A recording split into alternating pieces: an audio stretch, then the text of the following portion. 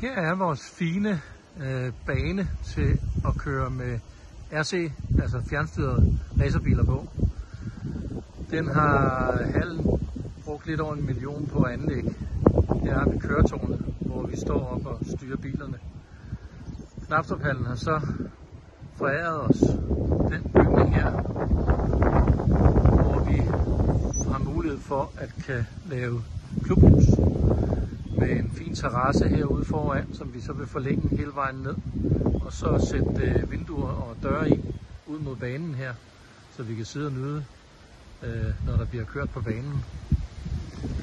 Inden bag porten her er der et en lille værksted, øh, og det skal bibeholdes som, som et sted, hvor man kan øh, stå og bore og, og save og noget.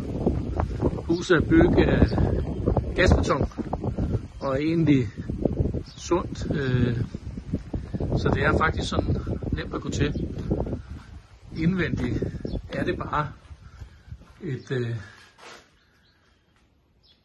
brugt som opmagasinering, værk, værksted og deslige.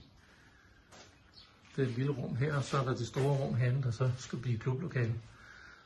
Der har vi tre trefas vinduer står her, som er blevet taget ud af hallen, og som vi har tænkt så genbrug i, i væggen her.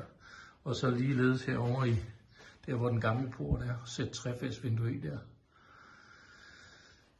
Men øh, med lidt god hjælp fra hjem og fix med lidt materialer, og så en hel masse frivillig arbejdskraft for klubbens medlemmer, så, øh, så tror vi på, at det kan lade sig gøre.